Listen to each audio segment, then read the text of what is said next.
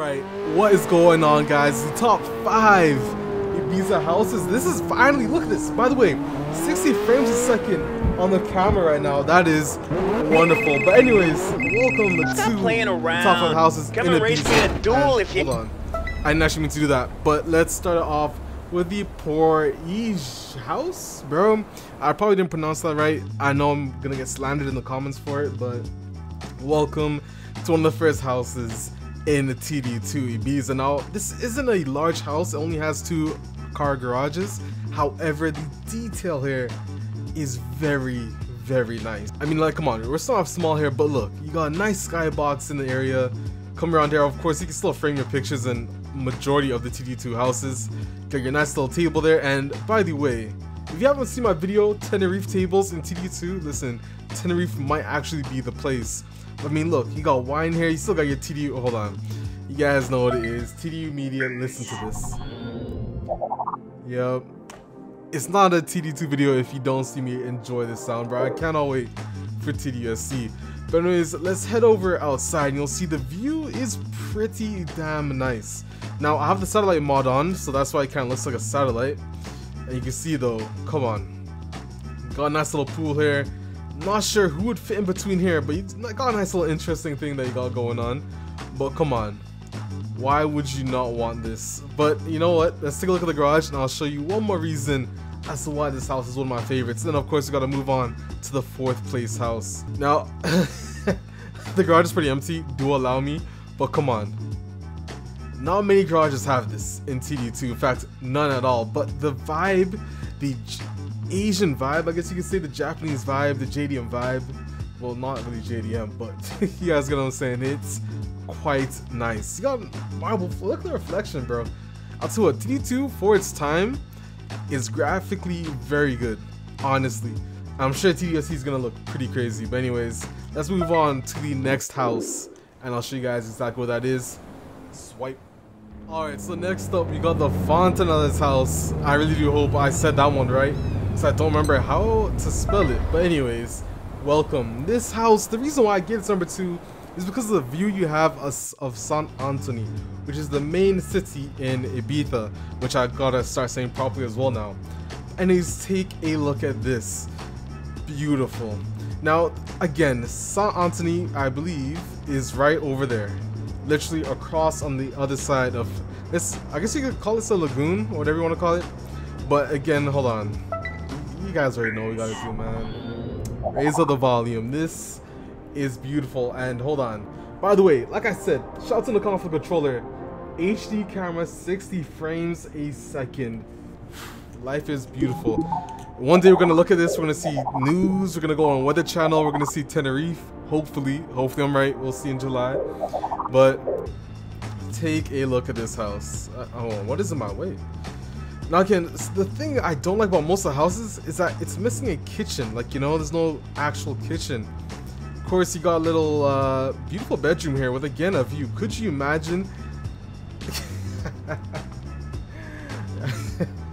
you know, I'll let you guys, I'll let your thoughts wander off there. But anyways, got your closet and all that. The garage is pretty much standard. Again, you're buying this house for the view, not so much the garage, but still nonetheless, you do have the standard condo garage, which is pretty nice. Anyways, let's move over to the next house in at number three. What's the third best house in Ibiza? Well, let's go ahead and check it out. All right, so obviously as we're pulling up to the next house, the Fujinoki residence. This is the house that we're gonna be taking a look at because why? It's definitely one of the most beautiful ones. And I actually meant to pull up to the garage, but you can see, come on. This is quite the beautiful house, and honestly, it is. It's a shame. I'm pretty sure you can't go outside actually, but let's take a look because we have a lot to do. Now, first off, come on, you got a nice little hot tub built into your house. Make sure I don't walk into the screen window there. There's one of the garages, two, and you have the most massive house and the most massive pool. I mean to say, actually, look at that. Now, the thing also, I wish you could go up there, like literally up there, but unfortunately, you cannot. But I mean, come on. I guess you can say that it's probably not a hot tub, but you know, regardless, got a nice little canopy area. Come on, why would you not? And even, of course, a gym. Jesus Christ, we can actually go over this. Let's go ahead, walk back in. Now, I'm sure something in like TDC would be nice if you could store like trophies or wins here. I'm sure, listen, whatever Kylotonn have planned, it's to be pretty nice. I'm sure of that. You know, we got a nice little gym. Can work out here while do. Come on. Uh, we're gonna work out and watch TV. That, listen. That is. this this is the house rich people and. Come on, man. Why? Like that's whoever the artist is that made that. Beautiful. Now let's go ahead over to the garage, which again, no cars in here, but you guys get the point. This, oh, bro, oh, look, look at the reflections, bro. Anyways, this is beautiful. Now, when you actually have cars in here, I would honestly say it's one of my favorite. And of course, you got a nice little garage lift all the way out the other side, which again, is probably a must need. And I think if we walk over here, you can see basically how the garages are. Which is crazy. Like that, like this is something that you'd want to have IRL. This is like the pinnacle of all houses in TDU2. Anyways, let's go ahead over to the house in at number two. Again, we'll see if you guys enjoy. I'm sure you will because the view is why this one took number two place. Alright, so welcome to none other than Zenith Loft. Now, first off, the driveway to your house is why this one. Come on. Now, another reason is that you can actually glitch over to an island on the other side of this house, which again is beautiful. But hold on. This is enough to get to 200 kilometers in your house. Jesus. Anyways, this is why the view you have is stunning. Let's go ahead over into the garage. Um, I mean, obviously, we're gonna have to take a look around the house. Well, come on. Now, first things first, turn on the TV because the... Come on. You know, one could say I'm addicted to it. But let's take a look at outside. Now, of course, you actually have stairs in this house, which again, nothing in TDSC. If we have stairs going upstairs, let us see the other bedrooms, you know? Let us have a look at everything. You can see a beautiful view that way. Now, you could almost say this is an infinity pool. It honestly should have been. This should have been an infinity pool, but regardless, it's still nice, but come on.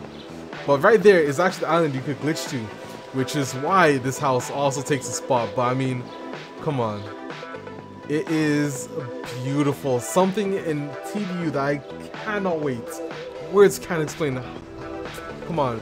TDSC, like literally when you play TDU2, the social features, the physics obviously gonna be better in TDSC, so come on. I mean, there's not much else you can say. The view is just phenomenal. But anyways, let's move over to the number one house, and you guys are gonna know exactly which one that is. Let's go. All right. You guys know, when you go through a tunnel, there's only one house on the other side. And come on, it is where TD2 started. The whole house party with Paul Oakenfold. I hope I said his name right too.